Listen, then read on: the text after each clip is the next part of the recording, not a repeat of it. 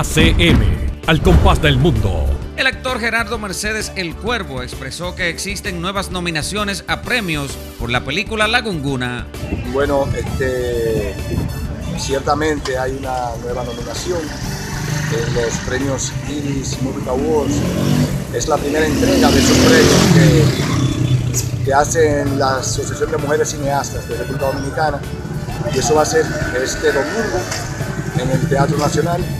Ahí estoy nominado a Mejor eh, Protagonista Dramático del 2015 por mi participación como protagonista en La Laguna.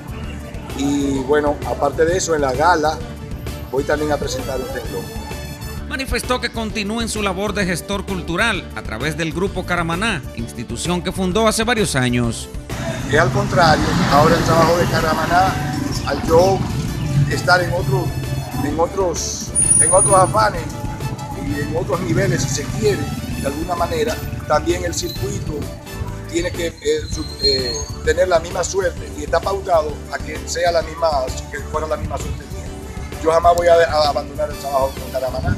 Caramaná eh, viene trabajándose desde el 98 hasta, la fecha y ha logrado colocar a Boca en la agenda cultural del país. ACM, al compás del mundo.